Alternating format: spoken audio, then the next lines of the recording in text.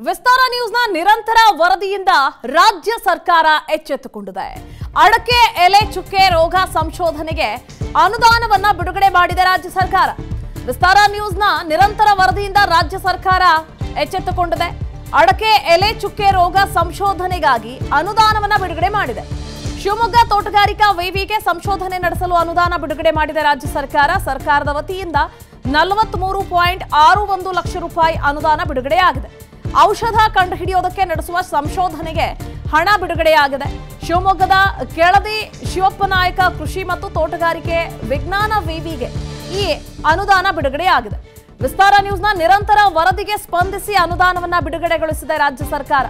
ಅಗತ್ಯ ಬಿದ್ದರೆ ಮತ್ತಷ್ಟು ಅನುದಾನ ಬಿಡುಗಡೆಯ ಭರವಸೆಯನ್ನ ಕೂಡ ನೀಡಿದೆ. ಅಡಕತ್ತರಿಯಲ್ಲಿ ಅಡಕೆ ಬೆಳೆಗಾರ ಎಂಬ ಶೀರ್ಷಿಕೆಯ ಅಡಿಯಲ್ಲಿ ನಿಮ್ಮ ವಿಸ್ತಾರ ನ್ಯೂಸ್ ನಿರಂತರವಾಗಿ ವರದಿಯನ್ನ ಪ್ರಸಾರ ಮಾಡಿತ್ತು.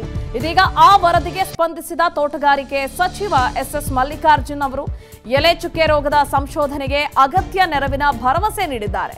ಕೊಟ್ಟ ಮಾತಿನಂತೆ ಸಚಿವ ಎಸ್ ಎಸ್ ಮಲ್ಲಿಕಾರ್ಜುನ್ ಅನುದಾನವನ್ನ ಕೂಡ ಬಿಡುಗಡೆ ಮಾಡಿದ್ದಾರೆ. ನಿಮ್ಮ ವಿಸ್ತಾರ ನ್ಯೂಸ್ನ ವರದಿಯ ಫಲಶ್ರುತಿ ಇದು. ಅಡಕೆ ಬೆಳೆಗಾರರು, ಅಡಕತ್ತರಿಯಲ್ಲಿ ಅಡಕೆ ಬೆಳೆಗಾರರ ಕುರಿತಾಗಿ ಶೀರ್ಷಿಕೆಯ ಅಡಿಯಲ್ಲಿ ವಿಸ್ತಾರ ನ್ಯೂಸ್ ನಿರಂತರವಾಗಿ ಅಡಿಕೆ ಬೆಳೆಗಾರರ ಸಂಕಷ್ಟ ಏನಿದೆ?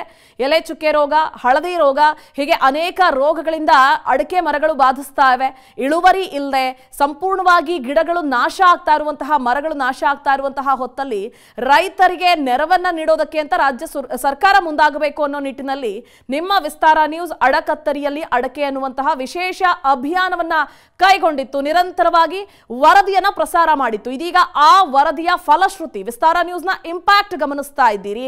ನಲವತ್ತ ಆರು ನಲವತ್ಮೂರು ಪಾಯಿಂಟ್ ಆರು ಒಂದು ಲಕ್ಷ ಅಷ್ಟು ಹಣವನ್ನ ವಿವಿಗೆ ಸರ್ಕಾರ ಬಿಡುಗಡೆ ಮಾಡಿದೆ.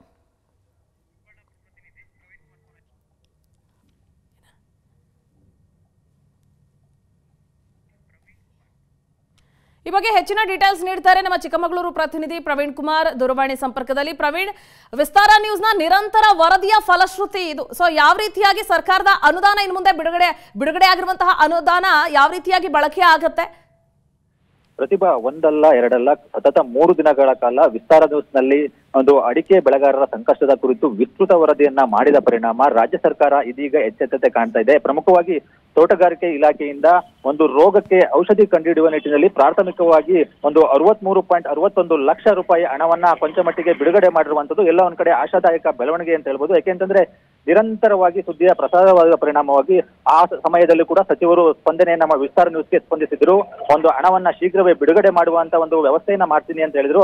ಅವರು ಹೇಳಿದ ಮಾತಿನಂತೆ ಇವತ್ತು ಹಣ ಬಿಡುಗಡೆಯನ್ನ ಮಾಡಿರುವಂತದ್ದು ಕೊಂಚ ಮಟ್ಟಿನ ಫಲಶ್ರುತಿ ಸಿಕ್ಕಿದೆ ಅಂತ ಹೇಳ್ಬೋದು. ಯಾಕೆಂತಂದ್ರೆ ಕೇವಲ ಆರಂಭಿಕ ಹಂತದಲ್ಲಿ ನಮಗೆ ಫಲಶ್ರುತಿ ಸಿಕ್ಕಿರುವಂತದ್ದು ಯಾವುದೇ ಕಾರಣಕ್ಕೂ ಸಂಪೂರ್ಣ ಅಡಿಕೆ ಬೆಳೆಗಾರರಿಗೆ ಅವರಿಗೆ ನ್ಯಾಯ ಸಿಗುವವರೆಗೂ ಜೊತೆಗೆ ಅಡಿಕೆ ಸಂಶೋಧನಾ ಕೇಂದ್ರ ತೀರ್ಥಹಳ್ಳಿ ಇರಬಹುದು ಅಥವಾ ಚಿಕ್ಕಮಗಳೂರಿನ ಶೃಂಗೇರಿ ತಾಲೂಕಿನಲ್ಲಿರುವಂತಹ ಅಡಕೆ ಸಂಶೋಧನಾ ಕೇಂದ್ರಗಳಿಗೆ ವಿಜ್ಞಾನಿಗಳನ್ನ ನೇಮಕ ಮಾಡುವುದು ಕೂಡ ಈ ಅಭಿಯಾನ ಮುಂದುವರಿಯುತ್ತೆ ಅನ್ನೋ ಮಾತನ್ನ ಕೂಡ ಅವತ್ತಿನ ಸಂದರ್ಭದಲ್ಲಿ ಹೇಳಲಾಗಿತ್ತು. ಆತ ಅದರ ಮಾತಿನಂತೆ ಇವತ್ತು ಹಣ ಬಿಡುಗಡೆ ಆಗಿರುವಂತದ್ದು ಸಂಶೋಧನೆಗೆ ಒಂದ ಕೊಂಚ ಮಟ್ಟಿನ ಅಲ್ಲಿಗೆ ಬೇಕ ಬೇಕಾಗಿರುವಂತಹ ತಂತ್ರಗಾರಿಕೆ ಮತ್ತೆ ಮೆಟೀರಿಯಲ್ಗಳನ್ನ ತೆಗೆದು ಬರೋಕೆ ಒಂದು ಸಹಾಯ ಆಗುತ್ತೆ ಅಂತ ಹೇಳ್ಬೋದು. ಪ್ರತಿಭಾ. ಥ್ಯಾಂಕ್ ಯು ಪ್ರವೀಣ್ ಕುಮಾರ್ ಡೀಟೇಲ್ಸ್ಗಾಗಿ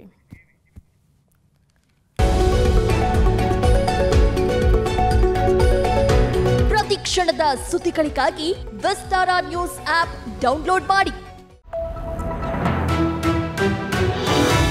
ವಿಸ್ತಾರ ನ್ಯೂಸ್ ನಿಖರ ಜನಪರ.